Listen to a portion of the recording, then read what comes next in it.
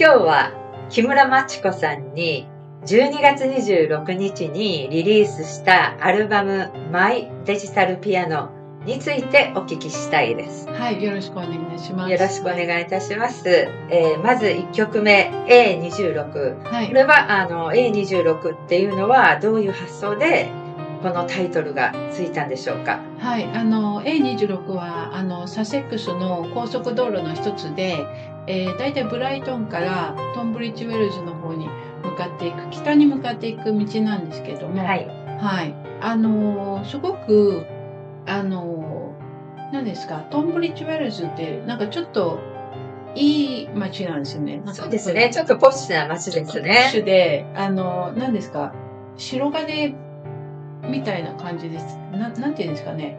あの、ちょっと、あの、高級な家がたくさんあるようなイメージなんですけど、そこへ向かっていく道で、私もその会社に向かうときに、あの、使ってたんですけど、あの、だんだんだんだんなんか A26 を使うと、はい。すごくスムーズで、ああので周りになんかこうハーリー・ダビッドソンのあのええお店があったりとか、あ。なんかすごくなんかゴルフクラブのお店があったりとか、そうなんかこうお金持ちが行くような道があ何ですか？あってなんかすごくなんかポッシュな感じ、ええ。あとなんかこう周りにこう木がやっぱりあるんですけど、ええグリーンが多いですよね。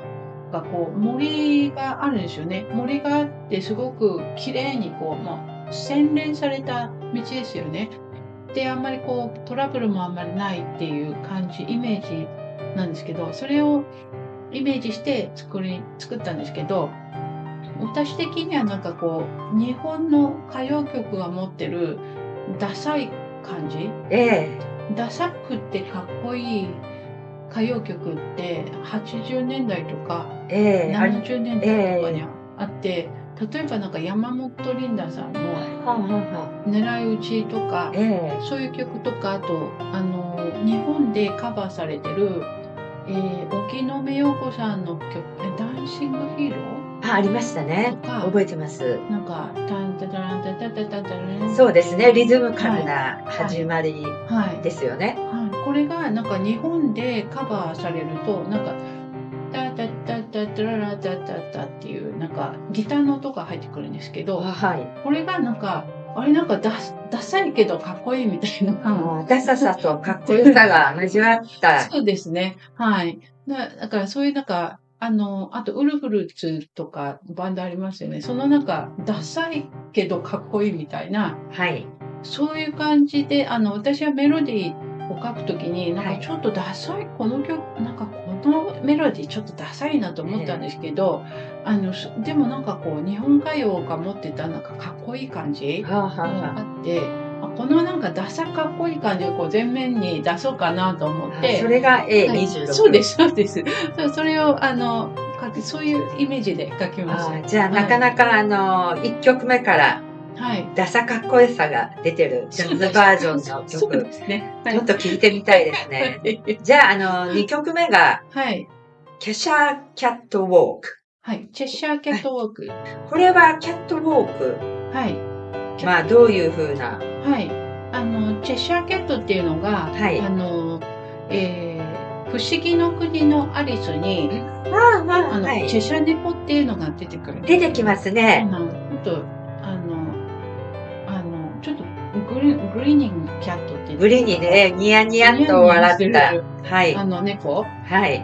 そのチェシャ猫のイメージで曲を書いたんですけど、はい。まあね、キャットウォークはあれですよね、その、パリコレクションとか、その、ええあの、ファッションショー？ファッションモデルの人がね、はい歩いてる。はい。で私はあの、そのチェッシャーキャットが、えー、キャットウォークで歩いてるイメージ。ああ、なるほどね。なんかい絵に出てくるような、なんかはそういう姿がなんとなく自分なりにいそうですね。想像できますが、はい。そのなんかこう、ナンセンスな感じ。ははい。こなかなかはい。個性的なイメージで。そうですね。えはい。で、あの、また次に、あの、A23、またこれ道路の名前ですよね。はい。これがまた A23 っていうのはどういう意味合いで、この番号がそうですね。出てきたんでしょうか？A23 は、あの、ご存知の通り、あの、ロンドンに向かっていく道で、え北に走るですね。北北にまあ走っていく。南南北に走る道ですね南北に走って、その、う私今ブライトンに住んでるんですけど、ブライトンからもう直通で、あの、すっとロンドンに行ける、まあ広い道ですよね。そうですはいね、。なので、まあ、日本で言うと国道1号線みたいな、うんそこまで広くないのかな。でも、なんかそんな感じのイメージなんですけど、はそれを書いた時に、はいあの、最初にできた曲が A27 なんですね。A2 A27 なんですけど、それが、その、えーある団体のところであの披露した時にあのあいいですねって曲その曲いいですねって言われてでも僕は A23 を使ってロンドンに通ってるんですよみたいな話があってでその A23 も書いてくれないかなみたいな、まあ、冗談ではおっしゃったんですけどはい。ああそれも面白いなと思って。だから A27 がその130、140ぐらいだったかな。あの、スピードがあるんですけど、はい。ちょっと早めにして、そうですね。あの A23 はもうちょっと早くもうちょっと早い。く走れますよね、はい。ちょっと早めにして、あとそのロンドンに行く時のその、私にとってすごい怖い道でやっぱあり免許取ったばっかりで、あ怖い道だったので結構練習に使ってたんですけどその2車線と3車線と4車線の合間ですごいなんか恐怖心があったりとか、はい。でもなんか久しぶりにロンドンに行くなみたいなはい。あのエキサイトメントもありつつあのっていうのをこう織り交ぜて。でイメージとしてはなんかカーペンターズの、はえー名前が出てこないんですけどあの宇宙をイメージしたあ、えのがありーますよね。ちょっと思い出せませんが、てんててんててん、ホーリンオン、何ですか、てんててんててん、てらららららららっていう、てれれれれれあ曲名が出てこないですけど、あの、まあ、後でじゃあ、ねあの後でそれはカ,、はいカカーペンターズを聞かれるとはい、その曲があるということですねそうですね、その曲の感じを、あの出したいみたいなそのなんか車走ってるなんでしょうね速い道を走って行ってるんだけどだんだんこうあの心地よくなってくるっていうんですか、はそういう感じをイメージしてあの書きました。心地よいドライブのイメージで、はい、はい、じゃああの次がそのドライブにちなんで、えー、ドライブタワード・ザ・サン、はい、これが A 259ですね、はい、はい、これあのコーストロードの道ですね。そうですね。はい、これはあの東西に走ってる道ですね。はい。それであの私にとっては一回あのヘイスティングスっていうところに通ってたんですけど、そっちに向かうとあのまさにその太陽に向かって走っていく感じなんですね。だからそのいつも眩しいはい。で太陽光が入って貧しい、眩しいな、みたいな感じと、東に向かってね。そうです、そうです。それで朝、朝、太陽に向かって走って、で、夕方また太陽に向かって走ってくるんですけど、あ帰るときは西に向かって。そうそうそう。それで、いつも、いつも眩しいし、あの、あと、えー、ガソリンスタンドが、左側にあると便利ですよね。あの、いつもなんか右に入るのって難しいじゃないですか。そうですね。はい。はい。それが、その、左側にあんまりないんですよ。ああ、気がつかなかった事実ですね。はい。そう言われればそうですね。はい。その、左側にあんまりなくて、その、いつも眩しくて、あの、で、なんかこっちの方がみんな使ってる道なんですよね。ブライトに向かっていく道の方が、ええはいあの、みんな使ってる道で混んでるんですけど、はい。だからなんかヘイスティン、グ側に行くと。スティング側に向かっていくと、あの、もうなんか太陽に向かって走ってるし、なんか、あの、ガソリンスタンドもあんまりないし、な あ自分何やってんだみたいな。じゃあもう必ずガソリンは切らさないように ですね。走らないと。そうですね。だからガソリンスタンドのポイントはなんか、あの、よく覚えてます。そうですね。こっちのね、あの一つミスすると、あとはちょっと長期間、まあ、長時間長時間ではないですけれども、まあしばらくガソリンスタンドを探すのにちょっと手こずる時がありますそう。ですね。そうですね。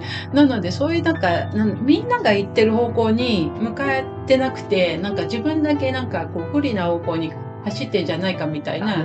そういうちょっと不安びたそうですね。あの道でもあるとはい。あとですね。あとですね、日本語で、あの、言う、あの、初めて言うんですけど、英語では言ってないんですけど、はいえー裏タイトルがあって、裏タイトルは金棒通りって言うんですけども、あの、静岡に、はい。えー金棒通りっていう通りがあるんですね。はい。で、そこがなんか昔自分が、はい、金棒取り。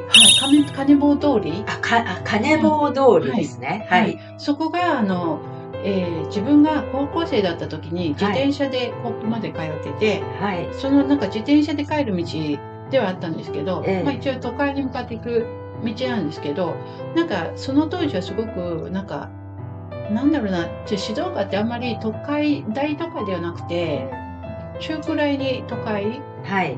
ですね。で、なんかあんまりこう、あんまりこう明るくて楽しいイメージあんまないんですけど、なんかちょっと、なんか、ちょっと、ちょっと寂しい感じでもあり、あの、でもなんか都会でもありみたいな、あ下町っていうんですかね。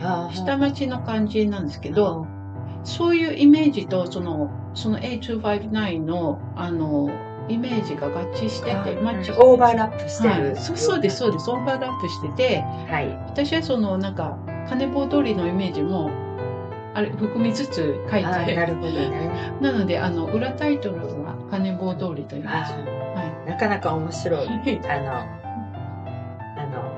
の、で、その道にちなんで、はい。個人的な思い出も含まれてるということなんですね。はい。はい。じゃあ、その次もまた A27 ですね。はい。はい。これは、どういうまた、はい。これはですね、あの、A27 が一番最初にできた曲なんですけども、はい。あの、まあ、作曲を始めようかなと思って、はい。仮、なんだろうな、なんかテスト的にちょっと書いてみたんですね。はあ、はあはで、書いてみて、なんか a マイナーの曲で、あ、はい。なんか27、あ、じゃあこれ27、A27 のために曲を書こうみたいな。それで、あの、なんだろうな、A27 って、その、イーストボーンから、えーブライトに行く道なんですけど、ははい。私にとっては、えーいろんな人にとって A27 ってあるんですけど、はい。私にとってはイーストボーンからブライトンで、そのなんか都会に向かっていく道なんですけど、そうですね。はいなだらかな丘が続く道ですよね。そうですね。で、なんか途中なんかこう、わーって明るくなっていって、なんかこう、なんか海岸見ながら走っていくところもあるん時々海が見えたりとかね、海しますね。かはい。ただそのなんか、そこまでたどり着くのにすごくなんか長くて、あの、何ですか、一車線しかないので、えちょっとなんか、ちょっと退屈かなみえたいな。あ繰り返しが多い。繰り返しが、なんか繰り返しをたくさん使って、ああのー、何ですか、ボーリングな感じを出したいとうん。いうことで書いたんですけど、決してその曲がボーリングなわけではなあ、くて、そうですね。その、その、感じ、その感じ、印象を、ええ。あの、気持ちを出して、あの、で、その時に、あの、そのその曲を完成して、あの、その人前で、ある団体の人の前で、あの、弾いたんですけど、その時に、あの、えあの、結構フィードバックが良くて、えその、あ、この曲好きですっていう人が結構いたんですよね。ええなんか、社交辞令じゃなくて、なんか、本当に好きですみたいなうん人が結構2、3人いらっしゃって、あ、そうなんだと思って、私はななんか実験的なうん意味で書いたんですけど、うんあ、こういう書き方でいいんだみたいな。じゃあそこから発見が そうですね生。まれたと。そうですね。で、こじゃあ思い出深い曲ですね。はい。はい。じゃあ、あの、次が A270。これ270と27。これ違うんですね。はい、そうですね。27がその高速道路で、はい。えー270が、えーモールスコムっていう地域なんですけど、はい。えーブライトンに着いて降りたところに、えー A270 っていうのがある。ああ、ありますよはねい。A27 に入るはい。前に A27、A270 がありますよね。はい。は。はいい。そこの道に入ると、今までその高速道路でバーンと走ってたところが、なんかいきなり、あ細い道に。そうですね。はい。で、あの、信号が結構たくさんあって、はい。あの、いつも混んでて、はい。あの、なんかすごいみ短いのに、あの、長くかかるみたいな印象があって、なんかそこに着くと、なんかちょちょっとイライラする。何ですか？ですかね。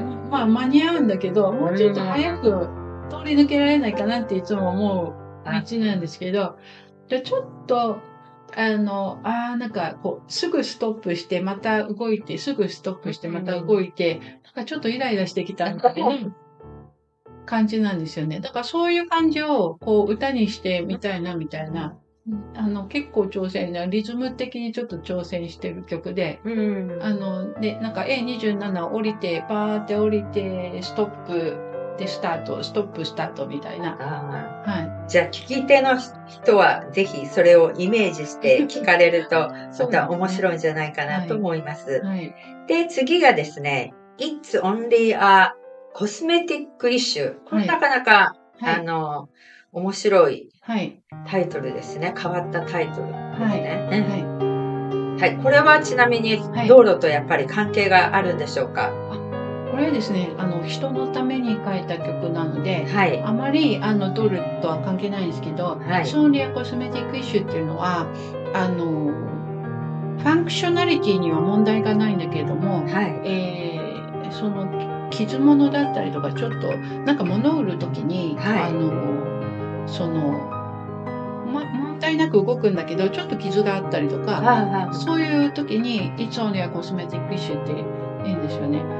なのでそういうのをテーマにしてるんですけど、えー、これはですねある人から依頼を受けてあのその人のイメージで曲を作ってくださいって言われて、はい、書いたのがそのその人はなんかあの美容の美容関係の人なんですよ。うん、で、なんかメイクをする人で、メイクアップアーティストみたいな、うん、そういうお仕事されてる人で、その人のイメージで、なんか優しいイメージで描いてほしいということだったんで、あの、私としては、あの、え乙女の祈りってあります、ね、ありますね。あの、ピアノを鳴らす人がね、はい、あの、初歩の段階で、はい、そうです、そうです。はい。弾く曲ですよね。私も、あの、小学生の時に弾いてたんですけどそうですね。初めて初めて有名な曲を弾けたみたいな。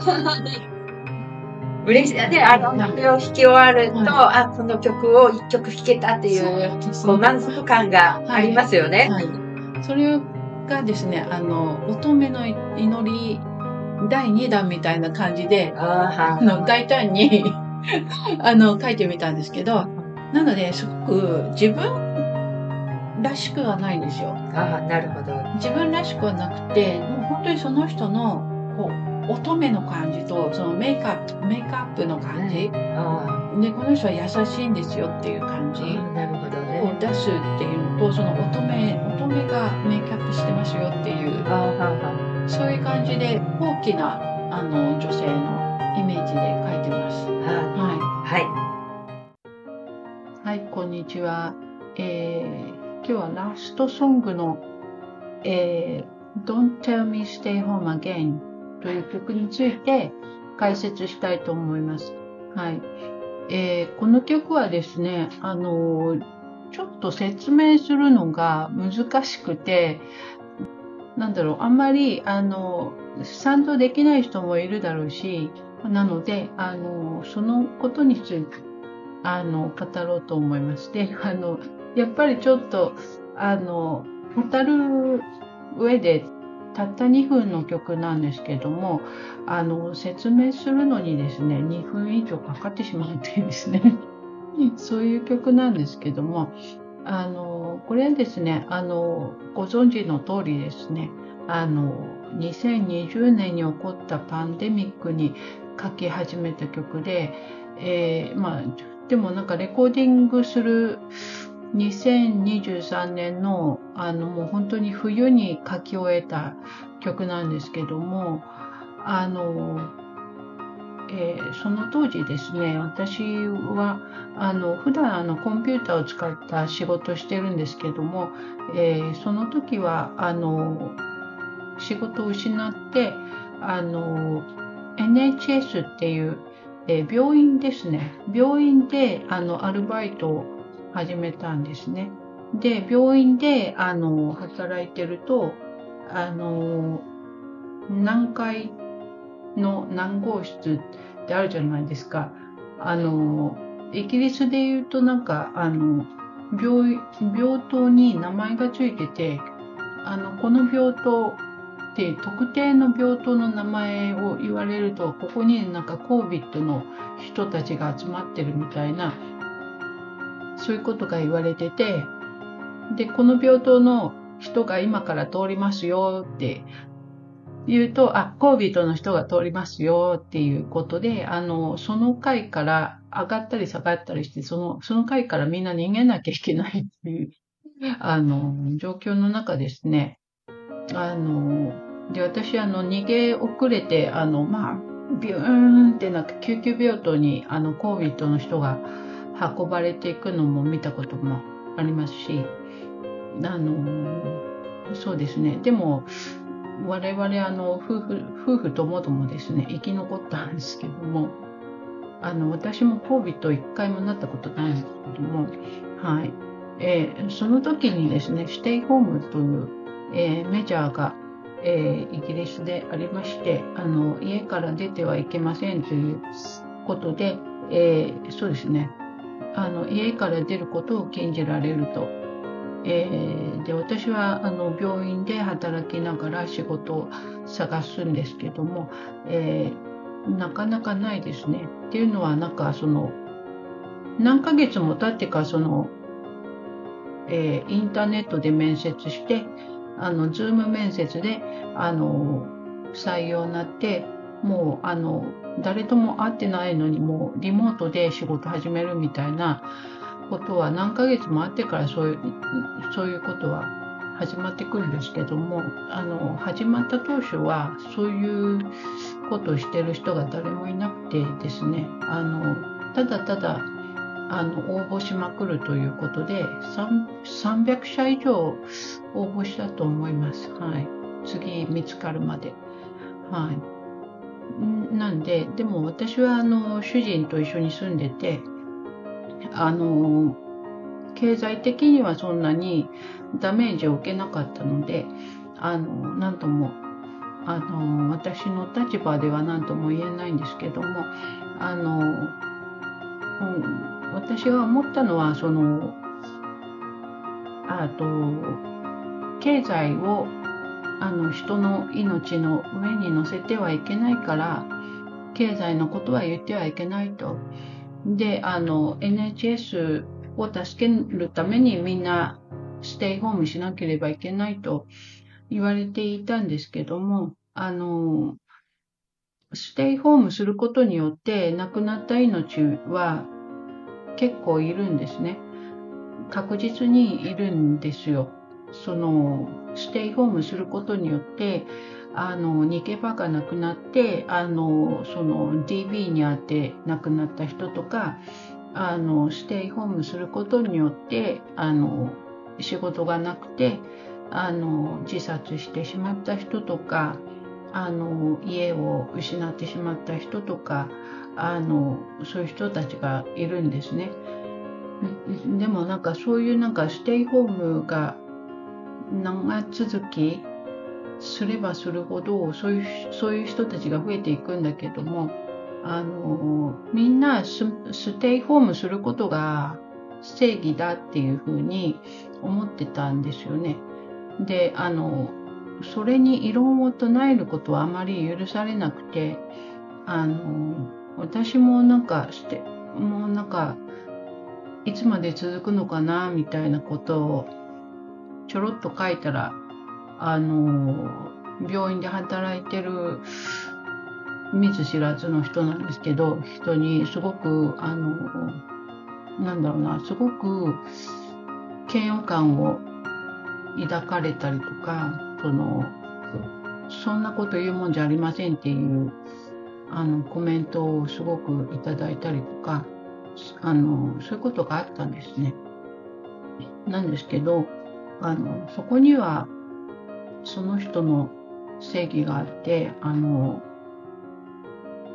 つまり、経済を人の命の上に置いてはいけないって、その人には思えるんだけども、でもその人たちは、あの、仕事があって、あの、給料もらっているわけですよ。でも多くの人たちは、その、ファーロースキームとかで、あの、給料が20%減ったりとか、あの、また本当に全く何ももらわなくなってしまったんですよ、その時にね。あの、だからその経済、経済、経済って言うんですけど、経済の裏には人の命があったわけですよね。だから人の命が経済の裏にある。だからそのこっちの命、その NHS が守ろうとしてる、その高齢者とか、あの、COVID に弱いとされてる人たちの命も命であれば、あの、こっちのその経済の最下層にいた人たち、経済的に、あの、守られなかった人たちの命も命なんですよね。だから、同等であるべきなんですよ。同等であるべきなんだけど、あの、どうしてもこっち側、こっち側ですね、こっち側の意見がすごく強くて、あの、すごく息苦しい感じをしたんですね。うん。なので、その、そういうなんか息苦しい感じ、なんだろう、なんだろうな、一つの意見がこう民主主義の世の中でこう別々の意見があるわけですよ。でそれをなんだろうみんなで話し合って妥協案を出していくべきなんだけどもあの当時はもう一つの意見だけがあのなんだろう強くなってそれ以外は許されないっていう状況に陥ったんですね。なのですごくあの戦争状態のように感じたし、あの、息苦しいなと思ったんですよね。なので、その息苦しさとか、その、トンネルから抜け出られないっていうか、その出口が見えないトンネルを走ってる感じを、あの、歌に出したんですね。なので、その、同意してくれない人はいるのは分かってるんですけども、もしね、あの、それを聞いて、あ、なんか言ってくれてありがとうって思ってくれる人がいたら嬉しいなと。それだけですね。はい、そういう気持ちを歌にしました。でもそういうのは考えなくても、あの、ただ聴いていい曲だなと思ってくれれば別に それでいいんですけども、あの、そういう気持ちを歌にしました。はい、以上です。